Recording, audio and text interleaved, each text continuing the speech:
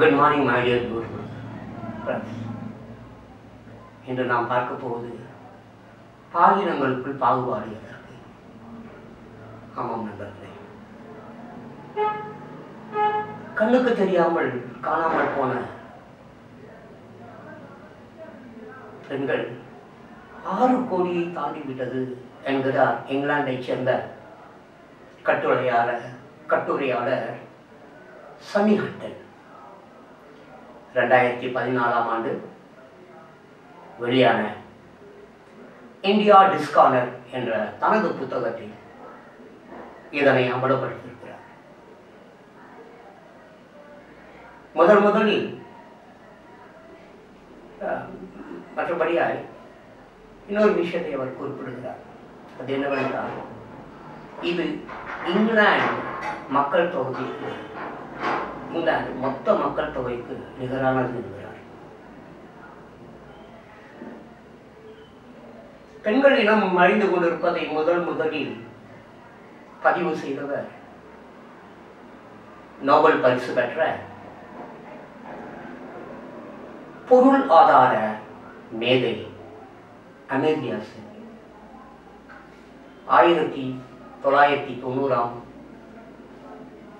ஆண்டுகளில் காணாமல் போன பெண்களின் எண்ணிக்கை பத்து கோடிக்கு மேல் என்று கூறியிருந்தார். இன்று இந்தியாவில் ஆறு கோடி பெண்கள் என்று உயர்ந்திருக்கிறது. இந்த ஆறு கோடி பெண்கள் எங்கே போனார்கள்? நமது மக்கள் தொகை கணக்கெடுப்பு கணக்கெடுப்பை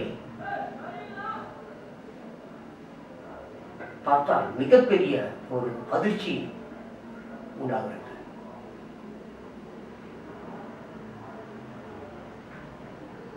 இந்தியாவில் பிறக்கும் ஒன்று புள்ளி ரெண்டு கோடி பெண் குழந்தைகளில் பத்து லட்சம் பெண் குழந்தைகள். ஒரு வருடம் கூட தாக்குப்பிடிப்பது மேலும்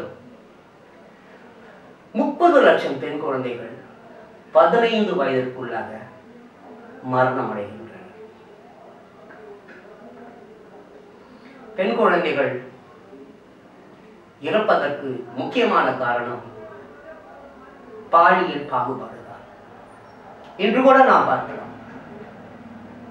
ஆண் குழந்தைக்கு ஒரு மாதிரியும் பெண் குழந்தைக்கு வேறு மாதிரியும் சலுகைகள் கொடுப்பதை இன்று கூட நாம் பார்க்கலாம். இன்னும் போன தலைமுறையில் சொல்லவே வேண்டாம். எல்லாம் வெளிப்படையாகவே நடந்திருக்கிறது அன்பானவர்களே. ஆமாம். அன்பானவர்களே பெண் குழந்தைகளுக்கு வழங்கப்படும் கல்வி மருத்துவம் போன்றவற்றிலும் இந்த பாகுபாடு உள்ளது. ஐக்கிய நாடுகளின் மக்கள் தொகை நிதியமை நிதி அமைப்பு உலகிலேயே அதிக அளவிலான பாலிய பாகுபாடு இந்தியாவில் இருப்பதாக சொல்கிறது. பெண் குழந்தைகள் இறப்புக்கான மற்றொரு காரணம் சிஸ்கோன் ஸ்கேன் சோதனை செய்து ஆண் குழந்தையா பெண் குழந்தையா என்று சொல்வது குற்றம் என சட்டம் கொண்டு வரப்பட்டுள்ளது.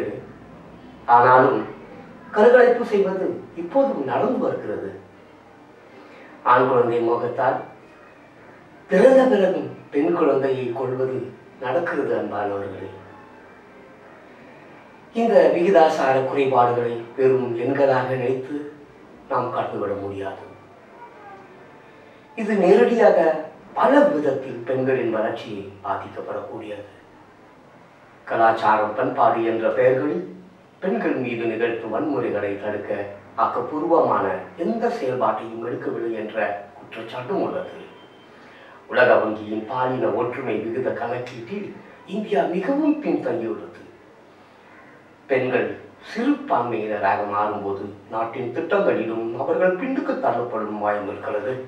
எனவே பெண்களின் எண்ணிக்கை குறைந்து வருவது இந்திய ஜனநாயகத்திற்கு நிச்சயம் ஆரோக்கியமானதாக அன்பானவர்களே டாக்டர்களே நாம் ஈன்றெடுக்கும் நாம் ஆசை ஆசையாய் ஈன்றெடுக்கும் குழந்தைகளில் ஆண் பெண் பாகுபாடுகள் தேவைதானா இந்த பாலியல பாகுபாடு சரித்திர காலங்களில் மிகப்பெரிய சண்டைகளை உருவாக்கியிருக்கிறது வேண்டாம் நம் சரித்திரத்தை பார்க்க வேண்டாம். இன்று நிலையை நாம் பார்ப்போம்.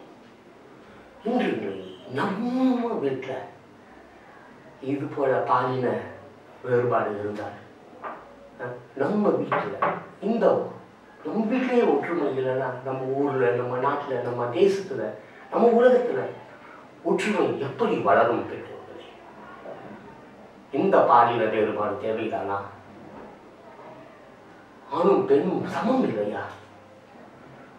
ஆணும் பெண்ணும் சமம் என்று சட்டம் சொல்கிறது சமூகம் சொல்கிறது ஏன் மதங்கள் கூட சொல்கிறது? அன்பானவர்களே பெற்றோர்களே பாலின பாகுபாடு வேண்டாம். இதனால் மிக பெரும் தொல்லைகளை நாம் சந்திக்க நேரிடும் என்பார்களே எதிர்காலம் ஒற்றுமை நாம் எல்லோரும் ஒற்றுமையாக உழைக்க வேண்டும். உயர்ந்தவர் தாழ்ந்தவர் இது எல்லாம் இந்த பாலின பாகுபாடில் உருவாகிறது. அரசியல் கூட இன்று இந்த பாலின பாகுபாடால் தான். அரசியல் எடுத்துக்கொள்ளுங்கள் ஜாதி மதம் இவைகள் தான் அரசியலையும் தீர்மானிக்கிறது. இந்த பாகுபாடு பாலின பாகுபாடு ஒற்றுமை இன்மை கண்டிப்பாய் நம்மை முன்னுக்கு கொண்டு வராது. நம் நிச்சயமாய் ஒரு அற்புதமான ஒரு வாழ்க்கையை வாழ முடியாது. பாகுபாடு வேண்டாம். நமக்குள் ஒற்றுமை தான் முக்கியம். உலக மக்கள் அனைவரும் ஒற்றுமை உழைப்போமானால் இந்த உலகில் பஞ்சத்தை வென்று விடலாம் வஞ்சகத்தை வென்று விடலாம் வன்முறைகளை வென்று விடலாம் பாருங்கள் எங்கு பார்த்தாலும் உலகம் பூராக வன்முறைகள் கலவரங்கள் சண்டை போர் பஞ்சம் கொள்ளை நோய்கள் இப்படியாய் எங்கு பார்த்தாலும் விபரீதங்களையும் விபரீதங்களையும் ஆபத்துகளையும் நாம் பார்க்கிறோம். எல்லாமே இந்த பாலின வேறுபாடு இந்த பாலின வேறுபாடு தான் ஆண் பெண் பிறகு தாழ்ந்த ஜாதி உயர்ந்த ஜாதி. பிறகு நீ பணக்காரன் நான் ஏழை. இது போன்ற அற்பத்தனமான விஷயங்கள் மாற வேண்டும். மகா உன்னதமானவர்களே. மேலும் இளைஞர்களே வாலிபர்களே வாலிப பெண்களே உங்களுக்காக நாங்கள் உங்களுக்காக நான் மிகவும் முக்கியமாக சொல்ல கடமைப்பட்டிருக்கிறேன். இந்த பாலின பாகுபாடு என்னை போன்ற வயதானவர்கள் வயதானவர்களிடம் நான் காணப்படுகிறது. உங்களிடம் பெரிதாய் காணப்படவில்லை நான் கவனிக்கிறேன். யூத்துகளிடம் இளமையானவர்களிடம் வாலிபர்களிடம் வாலிப பெண்களிடம் பெரிதாய் இந்த பாலின வேறுபாடுகள் இல்லை. ஜாதி மத விஷயங்கள் பெரிதாய் காணப்படவில்லை. இது அழியணும். இது நிச்சயமாக அழியணும் மேலும் உங்களில் திறமை மிக்கவர்கள் கண்டிப்பாய் அரசியல் போன்ற துறைகளுக்கு வர வேண்டும். அரசியலில் நீங்கள் முழு கவனம் செலுத்த வேண்டும். அரசியலை கற்றுக்கொள்ள வேண்டும். அரசியலில் உள்ள அத்தனை விஷயங்களை நீங்கள் கற்றுக்கொள்ள கற்றுக்கொள்ள வேண்டும். அதில் தீர வேண்டும். வருங்காலம் உங்கள் கையில் இருக்கிறது. வரும் காலத்தையும் நல்ல உலகத்தையும் நிர்ணயிக்க போறது நீங்கள் தான் அதனால ஆண் மகா உன்னதமான இளைஞர்களே வாலிபர்களே வாலிப பெண்களே மனதில் கொள்ளுங்கள். உலகம் உங்கள் உள்ளங்கையில் இருக்கிறது. இது அழிந்து போக விடாதீர்கள் இதை காப்பாற்றுவதில் குறிக்கோளாய் இருங்கள்.